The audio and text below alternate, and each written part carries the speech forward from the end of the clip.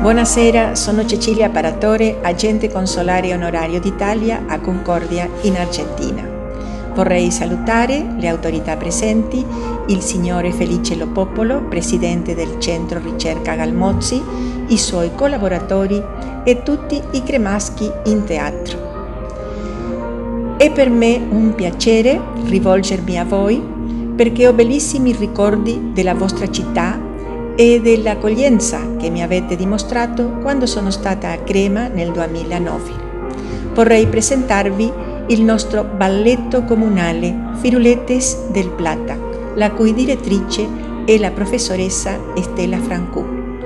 I giovani balleranno il tango Las Bellas Argentinas, Le Belle Argentine, composto a Buenos Aires da un emigrato cremasco, Domenico Ugetti. Con questo collegamento si rafforza il legame tra Crema e Concordia, unite anche attraverso il dottore Giacomo Coldaroli. Cremasco è il nostro primo agente consolare onorario nel 1877. Si trova con me il nostro sindaco, ragioniere Gustavo Bordet, che vuole. Buenas tardes, soy Gustavo Bordet, intendente de la ciudad de Concordia, y es para mí un enorme placer poder saludar a todo el pueblo de Crema.